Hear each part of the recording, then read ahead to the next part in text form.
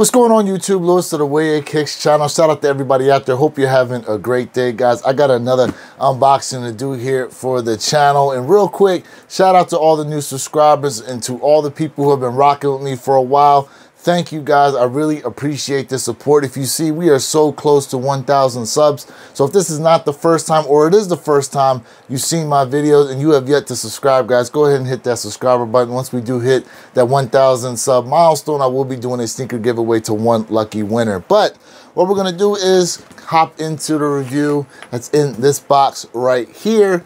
And the label reads Jordan Spizike Low Chinese New Year Sail metallic gold grain oil green. This is a size 12. And believe it or not, guys, there were only 5,000 pairs released on the Nike app. And these are pretty much all sold out. Now, before we get to looking at the shoes, I did also want to show you guys the crew neck that was being sold there on the Nike app as well. And here's the front where it says Jordan. If you kind of look up close there, you can kind of see that they kind of put some scales there in the Jordan letters, guys. And then here on the back, you have the 2-3 and then you have the dragon because this is the year of the dragon. And fun fact there, if you didn't know about the uh, Chinese New Year calendar, the animals come around every 12 years. So it'll be another 12 years from now that we'll see the New Year of the Dragon, guys but the dragon is actually the only mythical animal that is on the Chinese New Year calendar. So that's another fun fact. But without further ado, let's go ahead and hop into the review. All right, so here you go. Here's the box, guys. You can see that spackling that's kind of all over there. Plus you have that green oil color for the box. And then the Jumpman here, it's almost like a sail color. And then you got the flight here written in gold. Flipping open the lid, you are met here with this graphic print of the Jordan Low Spizikes. And what this print is telling you is actually what the sneaker is comprised of. So you have the midsole elephant print, which is the Jordan 3. You have the molded technical wings, which is the Jordan 4. You got the quarter panel and eye stays, the Jordan 5.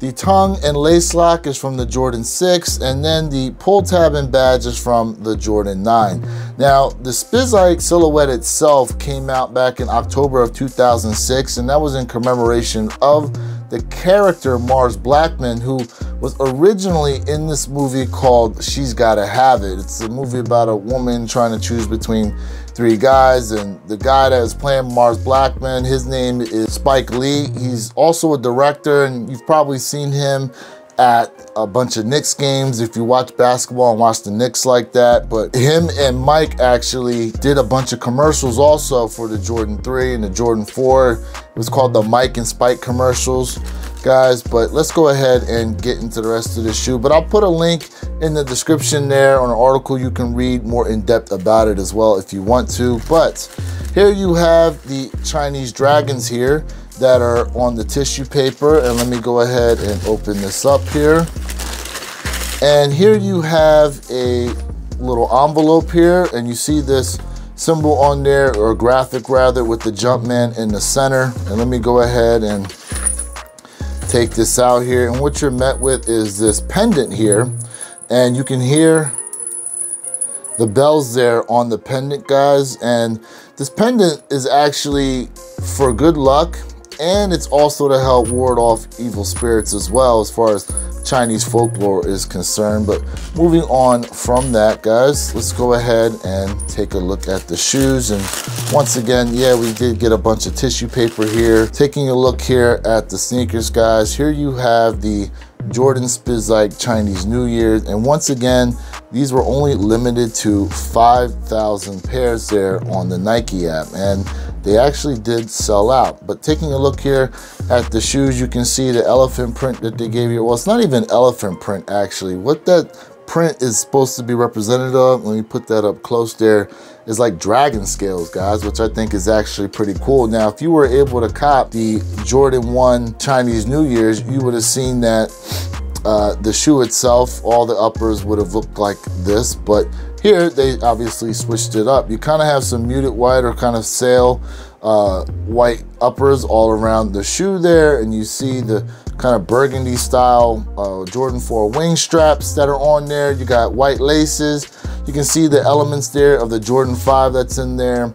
Got the elements here of the Jordan 6 with the, the patch over the laces with the gold Jumpman. You got your uh, lace lock here, plus your Jordan 6 style tongue, but you don't have the pull tab holes in here. So they switched it up just a little bit. Also, yeah, this patch, it actually doesn't snap off like it does on the Jordan 6. This is actually stitched here to the tongue, guys. And taking a look here on the inside of the sock liner, you can see you got that burgundy color sock liner there.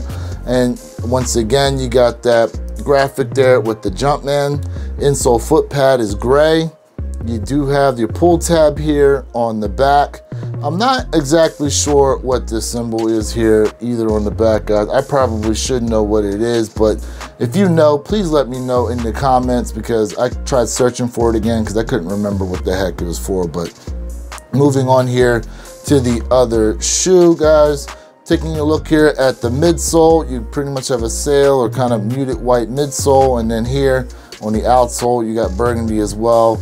You have the pivot point here in gray and then Jordan written here in gray as well. And then on the inside here, same thing with the same kind of graphic guys, but on the back of the heel, you actually do have a graphic there of Mars Blackmon, which is a really nice touch. I think that's pretty decent here. But man, let me tell you, you know, we're supposed to be getting a couple of these in some different colorways this year, guys. I'm not sure how you all feel about the silhouette, but I do know back when these originally released, people were digging these uh, fairly good, but I would say that maybe they're mixed reviews right now as far as the silhouette is concerned. I'm not sure how everyone's gonna take to these, but like I said, this pair in particular did sell out. You know, now that I have them here in hand, I actually do like these quite a bit. But let me go ahead and throw these on feet and then we'll close out the video.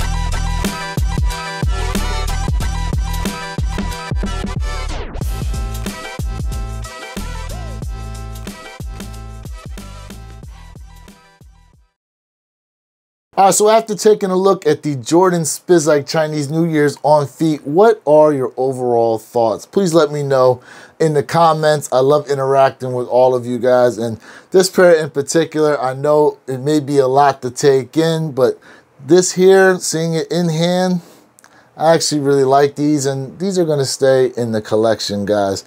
But if you enjoyed this video, please smash that like button for me. And of course, if you are new to my channel, please go ahead and subscribe guys and click that notification bell so you can know every time I drop one of these videos. In any case, this is Lewis of the Wear Your Kicks channel reminding you to be true, stay in the moment, and don't forget, every day is a great day to wear your kicks.